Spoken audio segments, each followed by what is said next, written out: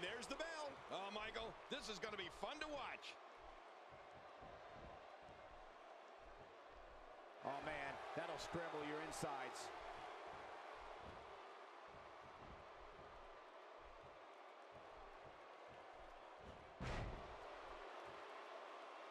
Controlling the tempo. Here we go with Mr. McMahon. And now it's Shane McMahon. What are your thoughts on Shane? That's someone who gets it. Someone who knows the value of hard work and dedication. I think the arena shook after that kind of impact. No kidding. Or maybe that was just what I had for lunch.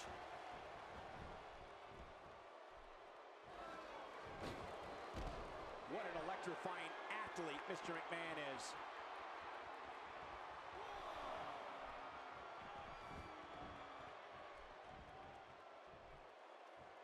I don't think there's an area on that back that's not suffering right now. Yeah, when he wakes up in the morning, the only thing on his body that's not going to hurt is his pajamas. Big Show once told me that being in the ring with Mr. McMahon is a lot like being in a cement mixer with a hand grenade. He just goes off every which way. Oh, out of nowhere! Ow! Oh.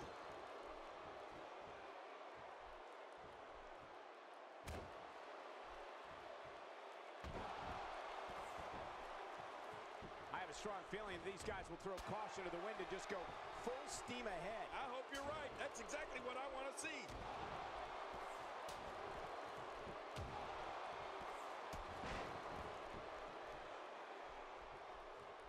I think I may have had the same conversation with Big Show as it relates to being in the ring with Mr. McMahon. He told me it's all elbows and knees. Hey, whatever works for him, right?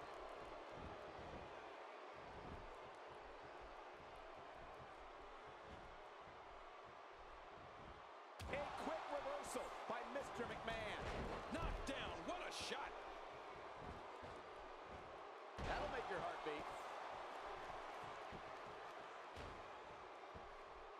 My God, his body's been through hell, and his ribs have bore the brunt of the attack. Man, I hope we can get a doctor out here as a precaution. Damaged ribs like that can make it hard to breathe.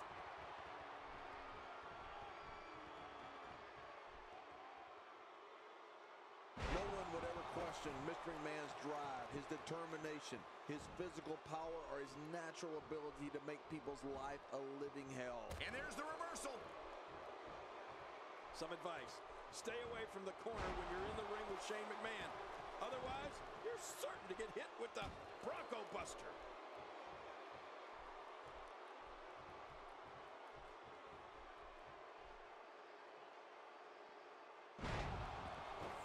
There's no quit in these guys, but unfortunately only one of them can be victorious here tonight. His chest may be black and blue after this. Turning it around. It's Shane McMahon with the reversal. And he comes crashing down. Now that's how you do it. God, there was nothing accurate about that attempted offense. Oh, you're being too kind. Some people would use other words to describe what we just witnessed. Look at Mr. McMahon laying them in there.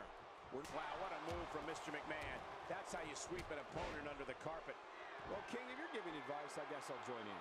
If you're in the ring with Shane McMahon, your best bet is to stay there.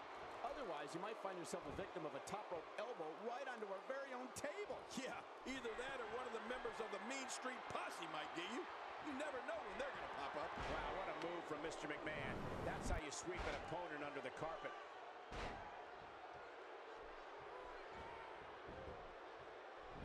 This could do it. Maybe it. Two, three. He did it.